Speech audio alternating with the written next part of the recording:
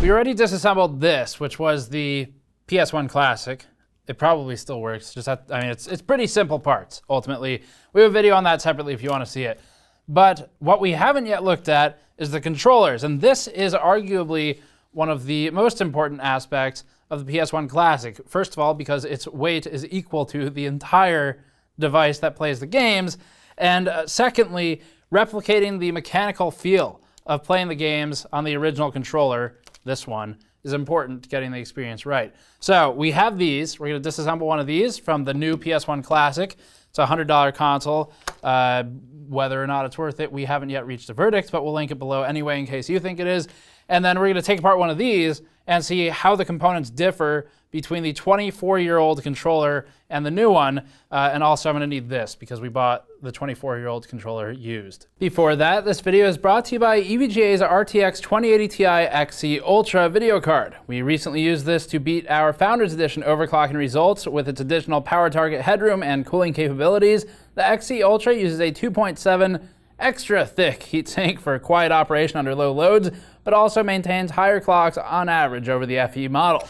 Learn more at the link in the description below. Here's the process we're gonna take for disassembling these. To make the best comparison, we are going to follow the same steps for each one and just mirror them. So it'll be take off the back of this one, take off the back of this one, and keep progressing through it. And if there are any differences, even in the screws, we'll find them, just because it'd be kind of interesting to see what has changed overall. Tools for the job, we're just gonna use a pair of Phillips head iFixit screwdrivers. I'll link the ProTech toolkit down below. And then we're working on our uh, GN mod mat, which you can find on store.gamersnexus.net, which will be useful for screw tracking on the grid, even though it's got a GPU silhouette. Let's start with the old controller. This is a legitimate PS1 controller with a copyright date that is not externally visible, but it is from the SCPH 1080. That's the controller, and it came with the original 1000 series PS1 and is probably kind of gross. This was probably not used since like 20 years ago, which means anything on it is dead by now. But we did buy it on eBay, so uh, probably a good idea just do some basic cleaning first. Those are Phillips. This has been opened before, actually. These are slightly stripped, some of these. So previous owner may have cleaned this out.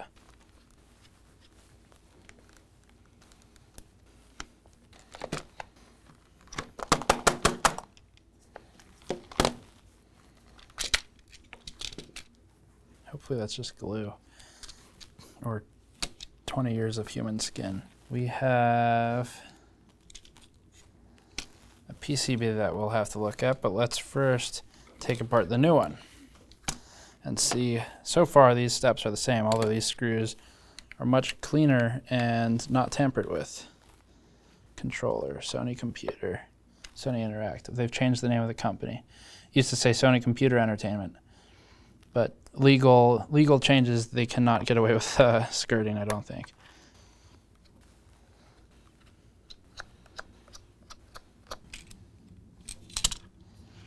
So for the most immediate differences here, you can see that the base of the original controller has these plastic supports underneath the button panel and the D-pad, where just pushing down on those things, you have some rigidity beneath them. That would be my understanding of what those are there for and then because there's no electromechanical function other than just support.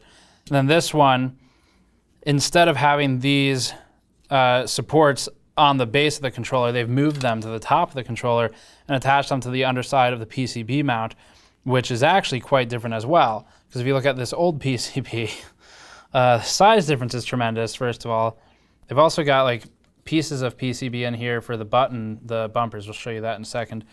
But man, this is just tremendously different. It's amazing how much we've shrunk in technology. But uh, so whole PCB here versus just a small one that's attached to a piece of plastic with the supports now moved to the plastic. It's probably a bit, probably a bit more sturdy that way. But um, for the cabling, that's been changed to one that you could actually disconnect from here if we cut the, uh, if we sort of unroute that cable. That'll come out. That's just a USB header. So there you go micro USB for this cable, which is pretty cool because it's USB to USB. So if you wanted to plug this into your system, you could, like your PC. So that plugs in, which is obviously a, a major technological difference, whereas this one has just a, a pinout that feeds into a much fatter cable. And that is a six wire cable. You can see a capacitor underneath it, which we don't really see these types of capacitors in this kind of electronic too much anymore, where it's a, a really small device. Now we have much more power efficient solutions. They don't require the same type of capacitance. We also have smaller capacitors. So we'll look at that in a second, but mechanically the differences are already somewhat significant. And a lot of that is getting rid of this massive unnecessary PCB. What about measurements? So center to center about 81.7 plus or minus one. Center to center, that's pretty damn good. Base of LNR2, we're at 110.44. Pretty damn good. Or 9.86, I would say that's within error. So it's about 8, 81.4. It's about 81.4. Okay, so let's just, let's go ahead and call it, say controller is more or less exact replica in terms of the distance of everything and sizing. So that's pretty cool. That's true to, true to spirit. And other differences here, so the base, you can see that there are these two supports uh, around the screw down there, which don't exist on the new one. And then you can also see that the trigger button, or whatever their official terminology is, is installed a bit differently where they've got this sort of bracket down here that's screwed in and acts as a support. Uh, and they can't, oh, gross. they can't press right now because I mean, it's not attached to anything. Whereas this one uh, does not have the external support. It's just a button. It's completely indep independently mechanical, holds itself in, all that stuff. Uh, on the top half, buttons here are executed a little differently. You've got this entire external housing around the switch itself. That's the switch. It's a rubber switch. We don't know what it is yet, probably Omron or something like that. Is this that is a rubber switch as well. Pretty similar, similar feel overall, but housed differently. And then for this PCB, that controller, as in the, not this, but the IC, IOKBC 830AZ0B, revision A01. So do with that what you will. I'd have to look it up, and maybe maybe we'll in a bit. That's a controller of some kind, as in an integrated circuit, like a you know literal controller, not a handheld game controller. Ribbon cable here, attaching to probably another small PCB. We'll look at that. USB cable, you could easily replace it if you needed to. That's really nice. Meanwhile, on this one, it's just a bunch of PCBs. So you have these cables running around the whole outer edge of it. Those connect with the PCB here that it looks like is acting as an interconnect uh, to the trigger buttons. And then it's going down, it's got the wire here to interface with the base PCB. I'd be curious what the latency difference is between button presses on new and old. It's probably unnoticeable, but it is, uh, I'd be curious to see if it's measurable. Let's get this PCB out of here. This should just lift up. This whole thing might lift out too, but let's maybe extract the PCB first, I think. Okay, got it. Those cables are exceptionally easy to break, so if you ever open one of these, be careful of that. So this has a little clip on it. There's a clip over here and a clip here. So these two clips right there, you just push those back and then it'll pop off the rails that it's on. So we push those and this should kind of come up on its own.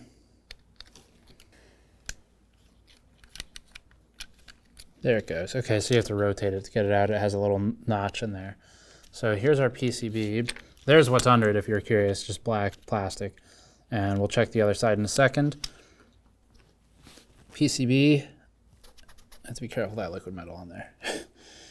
so the PCB, we already went through that side. That's side A. This is side B. And there's nothing there for you to look at. But that's what it looks like. We'll get a shot of those names if anyone wants to look them up online, try and find these parts or something for replacements later. You'll have a reference material shot for that. It's a very simple PCB. It's just acting as, as the literal controller, the processor of, of the input. How do we disconnect this?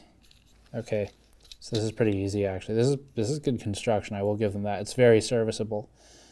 So uh, clip here, you just kind of push that plastic clip, there's a pop when it reseats itself, so clip.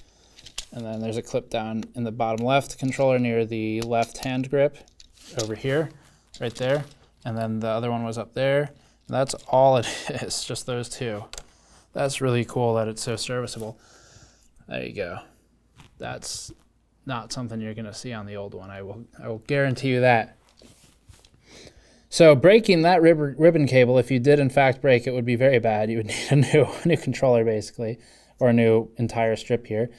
So for this, you've got a ribbon cable that runs to everything. You can see these little trace wires in, inside of the cable and the plastic housing. Those are running to all the buttons. And where's the button itself? Is it even?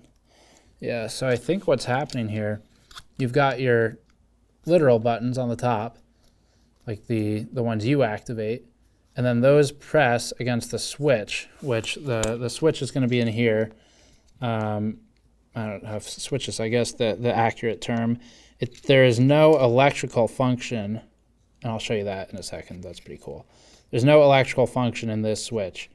It's entirely mechanical. So you push that down, it's got a spring, it actuates, it depresses the black bump there, and then that impacts against the electrical switch over here, which is this plate. It's not really a plate, but it's just a thin sheet of plastic. And uh, then you've got the wires running through that to detect the signal. So that is the modern version. Before we tear this down further, let's look at the old one. This is this is pretty good design. Very compact, very cheap, and um, uh, if it holds up, it's good. I mean, that's you kind of question how long that holds up, but I'm also not familiar with the other controllers Sony makes, so I don't know if that's their standard. So this one we're going to unseat the cable. You can see that it's really crimped in there. Does that disconnect? That might not disconnect. I could individually remove the pins from this header, but the header itself, I do not believe unsockets from, no, that is attached to the PCB. So we're going to leave that there. We've got an old cap, which is rated for 85 degrees Celsius. So you probably, I don't know how many hours you get at 85C, but uh, every 10 hours beyond that, you lose half the life of the capacitor. But these shouldn't get too hot anyway. Okay, so that was simple enough. Okay, so these pull up. This is actually pretty clever engineering as well for the resources they had of the time. So let's remove that. Let's put this aside for a second. We'll compare those at the same time. This mat's getting gross from the used part stuff. Gross, gross. So here's the major difference is the, uh, the top side of the PCB. You can see that's been completely replaced with just a plastic underlying sheet. And then this electrical is just a cable with some buttons integrated in it that the rubber pushes impacts. And on the old one, it's a PCB. You've got a couple small caps in there, a couple resistors.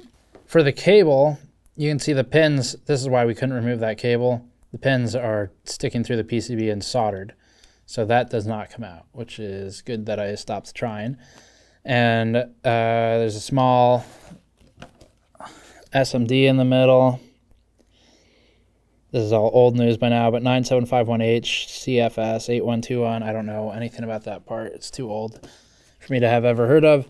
And gross solder work on this side, but that's where you're getting the attachment for the bumper button, which is attached to its own PCB. And you can see those pins sticking through on this side. So that cable is routed through the PCB and then all soldered in there. That's a thick PCB too. Not not that many layers, just thick, like plastic style. And um, here's the uh, correct orientation of it, right side up. So there's square, X, circle, triangle, and then your left down, right, up, so forth. So um, this is the plate that you're impacting with the rubber switches on the, the old controller, and we'll look at that too and see how that one, uh, how, the, how the build quality is, the assembly is on that one even though I kind of don't want to touch this part of the controller. Uh, so this is the old. Let's just pull this one off. And don't maybe don't zoom in too much and give everyone something to have nightmares about. That's not that bad though. And here's the new one. So which one did we just pull out there? there let's put them in the same orientation. So that's pretty remarkably similar, considering there's 24 years of age between them. So, I mean, aside from being clear, the button itself is pretty damn similar. Although this one's kind of worn out, but that's because it's used. Internally, the uh, okay. Internally, this thing, the D-pad, the D-pad is uh, braced by this crossbar on the original controller. It's not braced on the old one. I just, on the new one. Sorry, I could just push this out right now. And uh, other than that, and it's a D-pad. They don't appear to have changed very much, other than some basic construction like the plastic mold. And these buttons, if you look at them, they're same as well. Uh, they come out completely. So there's those, start select. There's this, start and select. Same kind of button. Uh, a little bit different the way it's supported and, and held in. Those pins on the side, the pinholes. Then the last one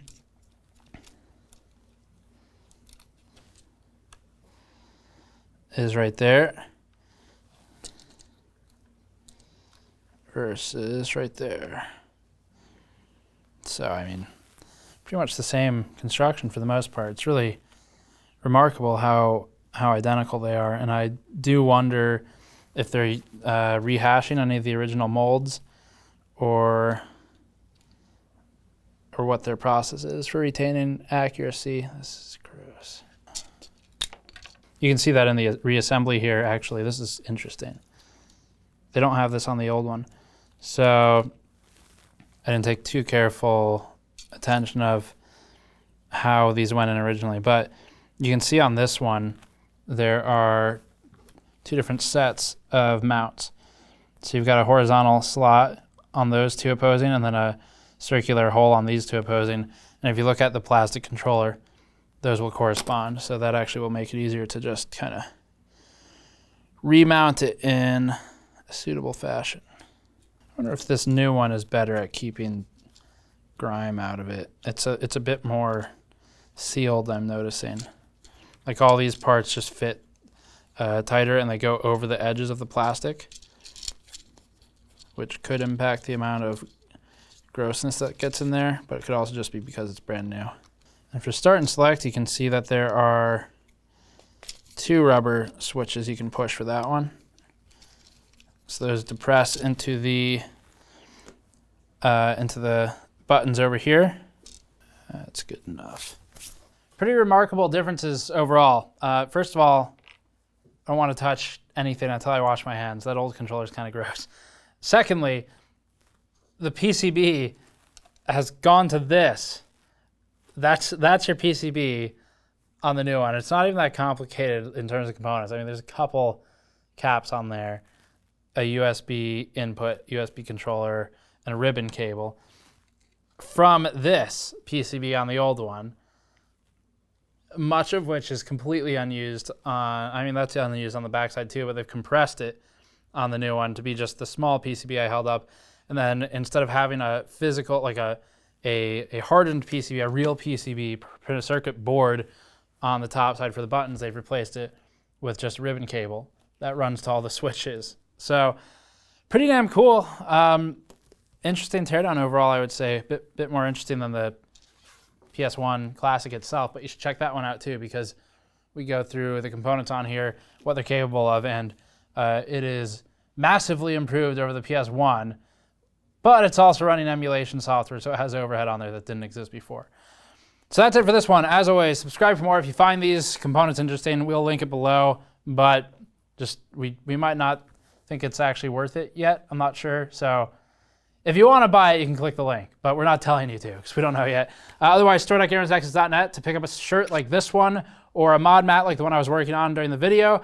And you can go to patreon.com slash gamersnexus, helps out there as well. Thank you for watching. I'll see you all next time.